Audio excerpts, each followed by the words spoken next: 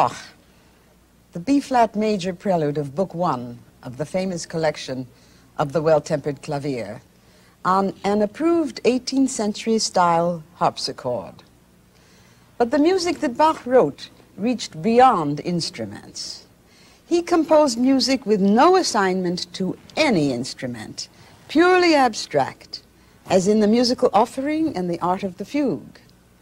And he frequently reset the same music for different instruments of totally different textures and sonorities, such as the organ, violin, harpsichord, and even the voice.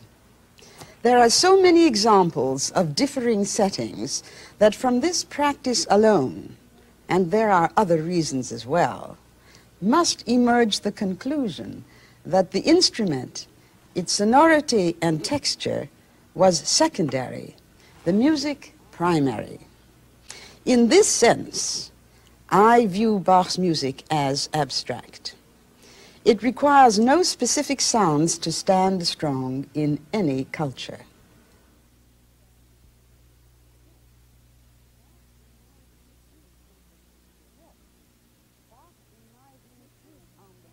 Yes, Bach, in my view, is on the frontier of the future.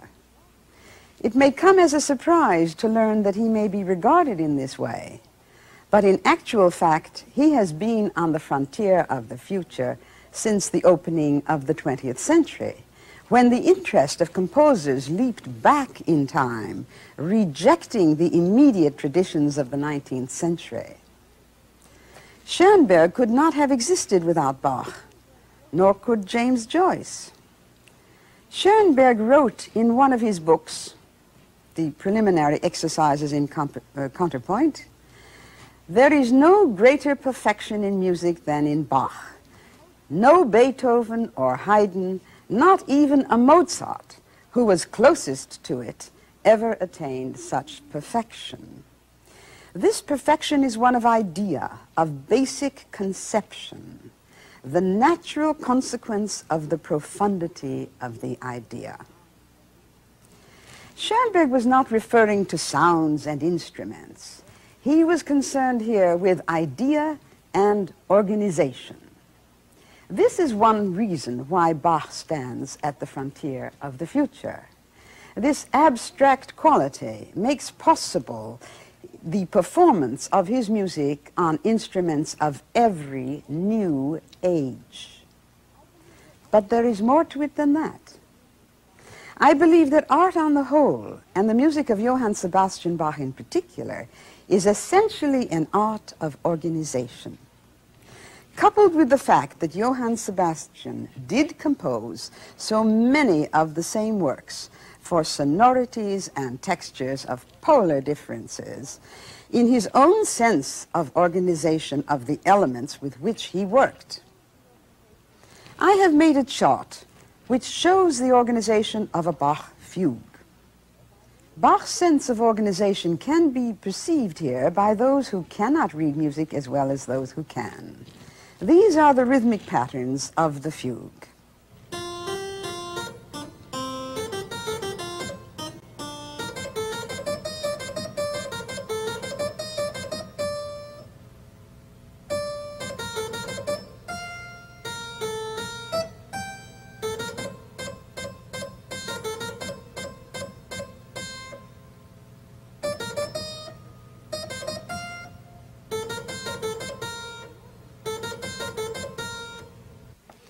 The organization of the three motives in relation to each other creates the fugue. There is no elaboration, no free counterpoint, no other notes of any kind in the entire fugue. These three motives are employed continuously with no change. What then makes this a fugue, or a musical composition of any kind? Instead of a repetitious continuation of copies or clones of its three motives. The organization of these motives in relation to each other. It becomes a work of the purest ingenuity and genius, and of great musical charm as well. due only to the particular placements of the elements, which are the motives, in relation to each other. That is organization. I shall play it on the harpsichord, and you will hear an endearingly charming work.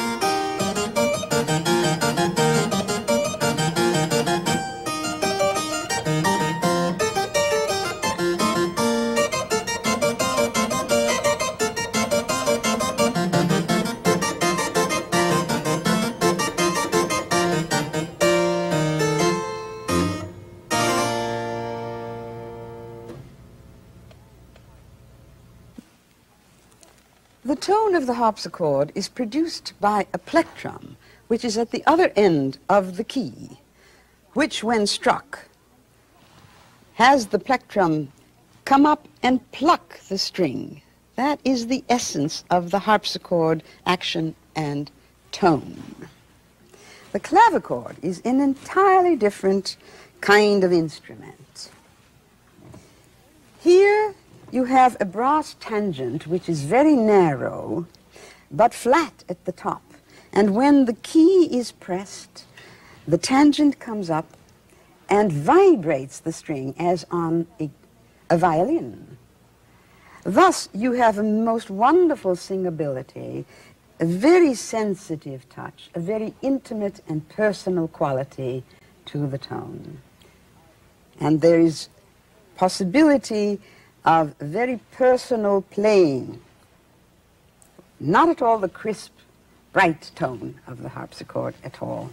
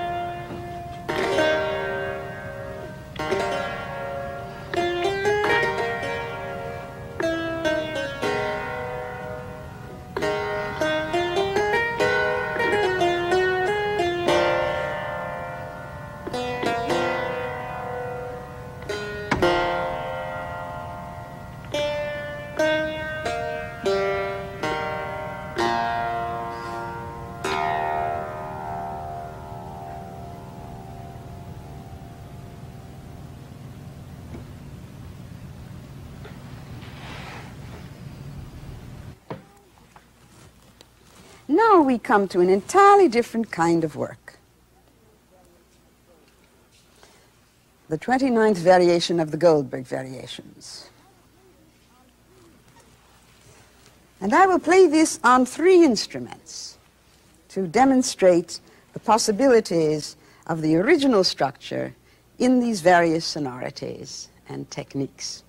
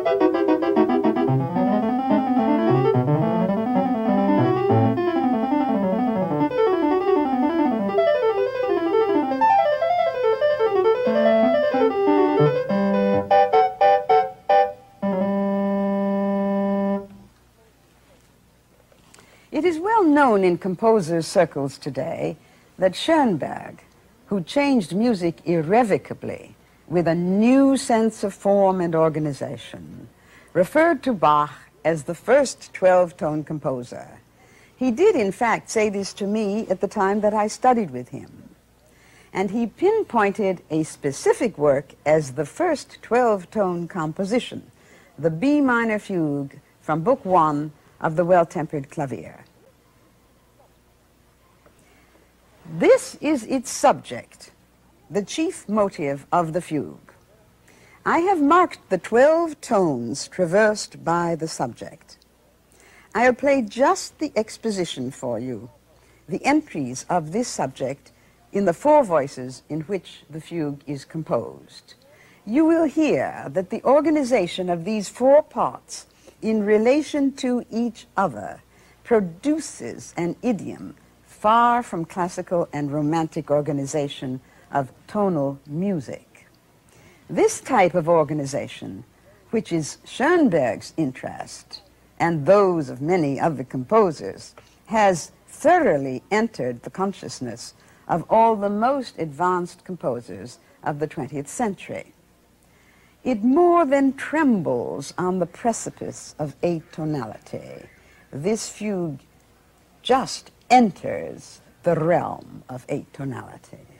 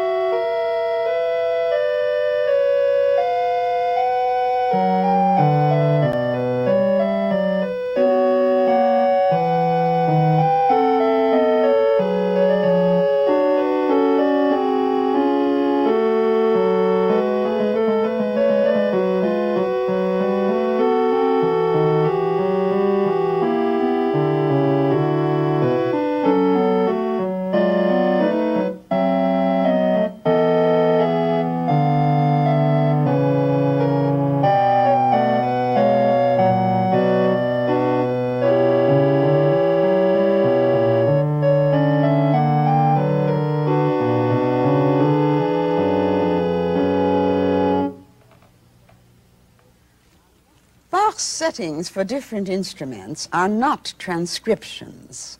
They are individual instrumental settings valid in their own terms. And the fact that they work on different keyboard and other instruments demonstrates that the primary composing conception is organization and not music as sounds requiring specific sonorities and a particular instrument. Now I'll demonstrate a totally opposite type of composer, Chopin, as a piano composer who is totally dependent on piano sonority.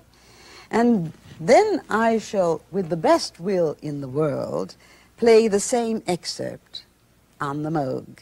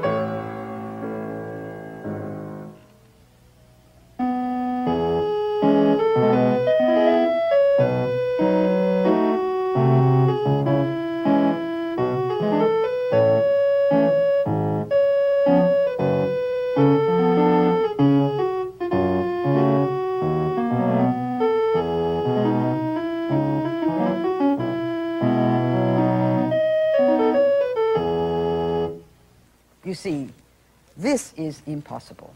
Chopin was not capable of writing that kind of abstract music.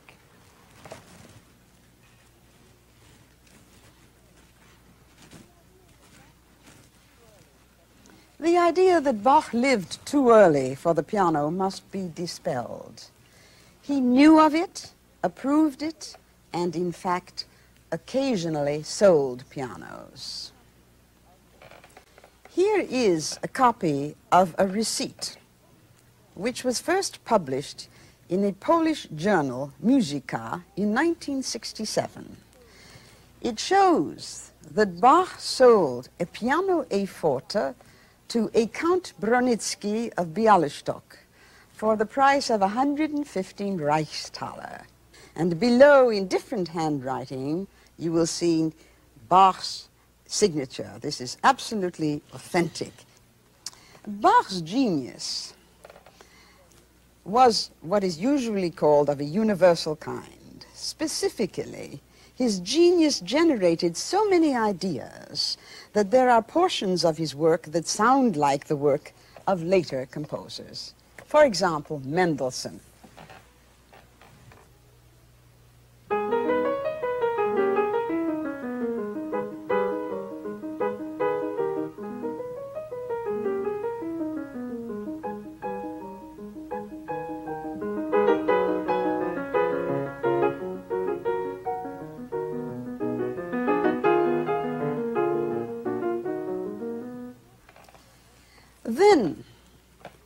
Atmosphere of Debussy in the A minor prelude of Book Two.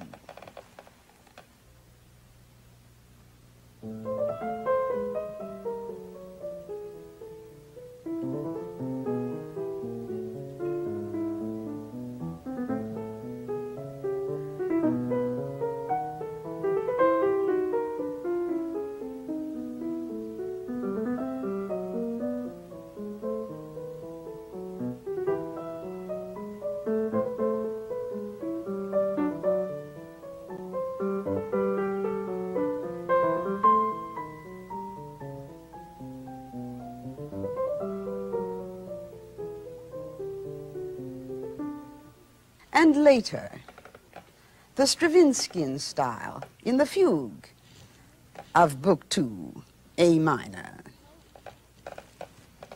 And this is most suitable to the avant-garde instrument, the polymoog.